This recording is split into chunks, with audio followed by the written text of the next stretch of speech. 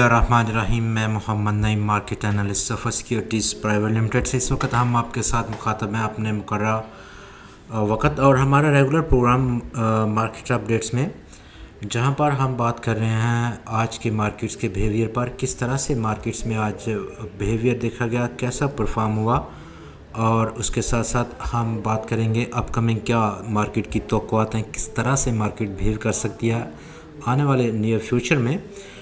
तो कारोबार का आगाज़ आज, कल की नस्बत जहाँ पर कल काफ़ी सारा एक रिकवरी देखी गई थी और कल की जो कैंडल थी वो लगभग एक बुलिश हैमर की तरफ़ कंसीडर की गई थी।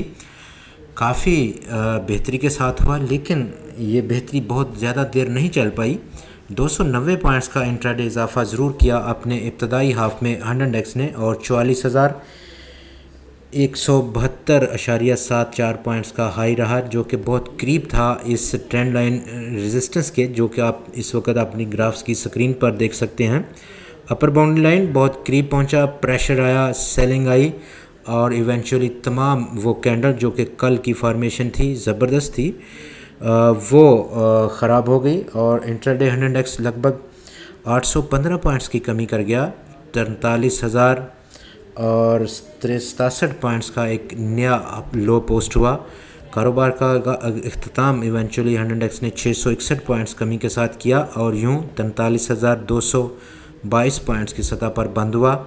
वॉल्यूम्स में कल की नस्बत आज कमी देखी गई। बारह शारिया तीन चार परसेंट की कमी रही आज कल की नस्बत और इस कमी के बाद टोटल मार्केट में जो वॉल्यूम्स हैं वो पैंतीस करोड़ और 48 लाख शेयर्स के रिकॉर्ड हुए, जिनकी ट्रेडिंग वैल्यू भी कम देखी गई। कल की नस्बत बारह अशारिया दो अरब रुपए की ट्रेडिंग वैल्यू रही। कल हमने 40 करोड़ और 48 लाख शेयर्स का कारोबार देखा था मार्केट्स में, जिसकी ट्रेडिंग वैल्यू पंद्रह अशारिया छः अरब रुपए की रिकॉर्ड की गई थी। कुल आज तीन सौ उनहत्तर स्टॉक्स ने हिस्सा लिया आज की ट्रेडिंग में। कल के तीन सौ बासठ के मुकाबले में और आज की इन तीन सौ उनहत्तर स्टॉक्स की ट्रेडिंग में जो बैलेंस है वो काफ़ी भारी हद तक उन डिक्लाइनर्स की जानब रहा। दो अठहत्तर स्टॉक्स की कीमतों में आज गिरावट देखी गई। बहत्तर की कीमतों में इजाफा और 19 स्टॉक्स की कीमतों में आज इस्तेकाम देखने को मिला है। टॉप फाइव वॉल्यूम लीडर्स में बात करें तो हैस्कोल पेट्रोलियम ने लीड किया आज मार्केट को। तीन करोड़ सतासठ लाख शेयर्स के बड़े काम के साथ, जबकि स्टॉक एक रुपया कमी के बाद पाँच रुपये सोलह पैसे की सतह पर पहुंचकर बंद हुआ। वर्ल्ड कॉल टेलीकॉम में आज दो करोड़ अट्ठासी लाख शेयर्स का कारोबार रहा। पंद्रह पैसे की कमी रही और यूँ दो रुपये छः पैसे की क्लोजिंग रही। इस कमी के बाद टेलीकॉम में आज एक करोड़ इकहत्तर लाख शेयर्स का कारोबार, एक रुपये सोलह पैसे की कमी, पंद्रह रुपये उनतालीस पैसे की क्लोजिंग रही। इस कमी के बाद गनी ग्लोबल होल्डिंग्स में आज एक करोड़ साठ लाख शेयर्स का कारोबार, एक रुपये चौदह पैसे की कमी स्टॉक की कीमत में और यूँ सताईस रुपये चौहत्तर पैसे की क्लोजिंग रही स्टॉक की।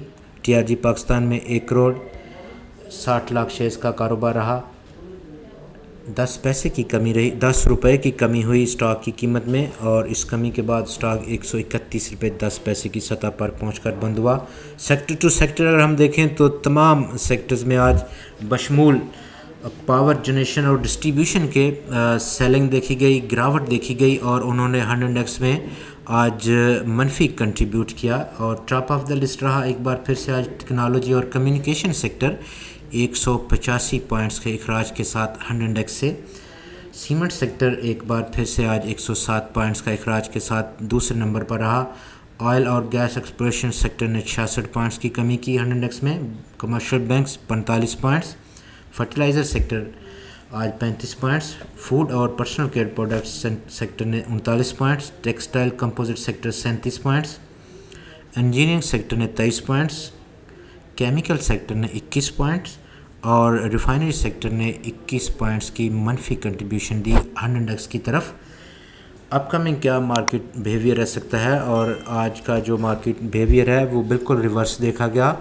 एक लंबी कैंडल आप देख सकते हैं ग्रास पर और कल की तरह। जहाँ पर एक उम्मीद पैदा हुई थी। बिल्कुल अगले ही रोज़ हंड्रेड एक्स ने अपनी अल्टीमेट रेजिस्टेंस को बिल्कुल करीब थे होते ही सेलिंग देखी गई और हंड्रेड एक्स ने रिवर्स दिखाया। छः सौ इकसठ पॉइंट्स की कमी रही और बिल तरतीब हंड्रेड इंडेक्स इस वक्त बंद हुआ। मार्च 2021 के बाद सबसे अपने लोस्ट लेवल पर फिलवक्त जो सपोर्ट हो सकती है, वो आप इस वक्त ग्राफ पर देख सकते हैं डाउन चैनल जो कि black line lower boundary line से मार्क किया गया है, उसका लेवल इस वक्त जो देखने को मिलेगा आने वाले ट्रेडिंग सेशंस में, वो बयालीस हज़ार पाँच सौ सतासी पॉइंट्स की सतह पर मौजूद है। जबकि रेजिस्टेंस फिल वक्त यहीं हम देख सकते हैं जो कि चवालीस हज़ार और दो सौ अड़तालीस पॉइंट्स की सतह पर हंड्रेड इंडेक्स की अपर बाउंड्री लाइन, जो कि एक बहुत भारी रेजिस्टेंस लाइन है, वो इस वक्त एक्ट कर रही है।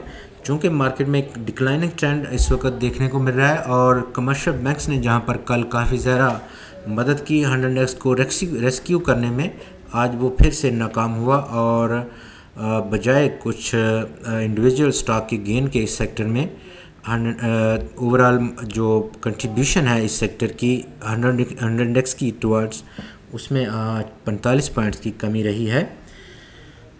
आपका बहुत शुक्रिया, खुदा हाफिज़।